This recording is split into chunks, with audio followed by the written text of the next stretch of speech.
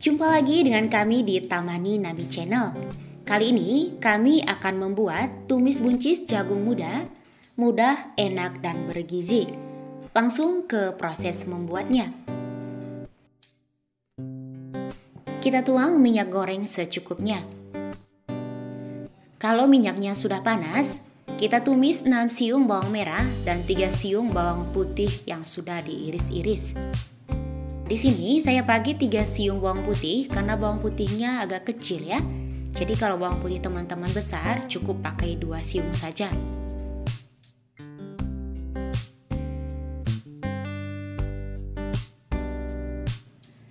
Kalau bawangnya sudah mulai layu, sekarang kita tambahkan 6 buah cabai rawit hijau dan 6 buah cabai merah keriting yang sudah diiris-iris.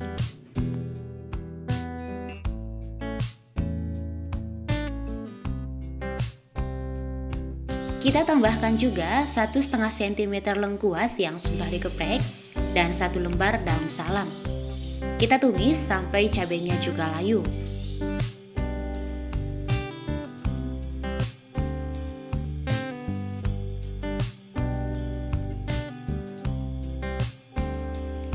Ini cabenya juga sudah layu. Sekarang kita tambahkan 3 buah jagung muda yang sudah dipotong-potong. Aduk-aduk sebentar.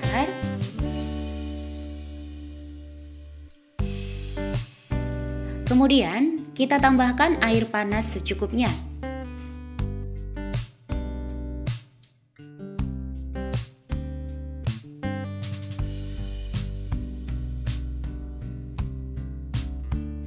Sekarang saya tambahkan juga satu buah wortel yang sudah dipotong-potong. Lanjut, kita aduk-aduk lagi.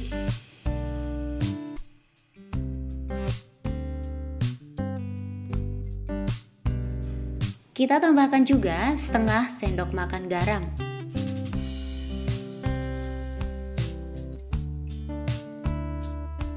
Kemudian, ini kita tutup cukup 2 menit saja.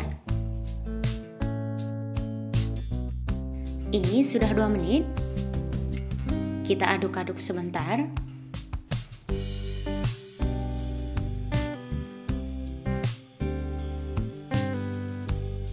Selanjutnya, kita masukkan buncis secukupnya. Nah, di sini saya pakai buncis sebanyak 1 ons setengah ya. Dan ini buncisnya sengaja saya potong-potong seperti ini karena ini masih muda. Di sini saya tambahkan juga 3 buah tahu yang sudah dipotong-potong dan digoreng. Nah, tahu ini bisa juga digantikan dengan tempe atau telur yang diorak-arik.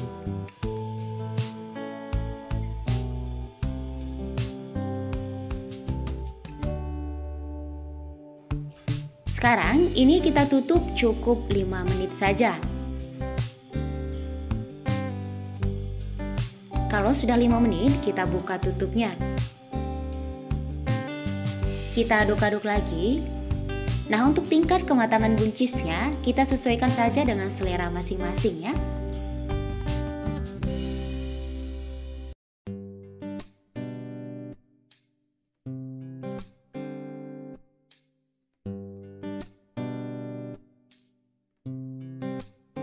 Sekarang kita tambahkan setengah buah tomat yang sudah dipotong-potong.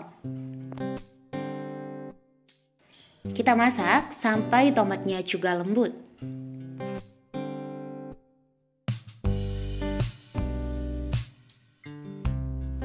Ini tomatnya sudah mulai lembut. Uh, jadi jangan lupa untuk cek rasanya. Bagi teman-teman yang biasa pakai kaldu bubuk atau penyedap rasa lainnya, silahkan ditambahkan.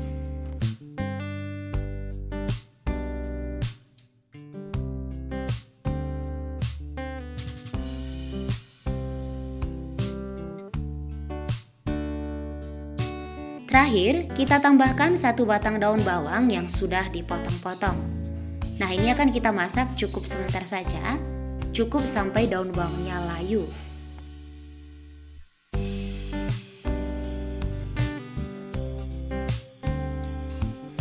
Oke, ini daun bawangnya juga sudah layu.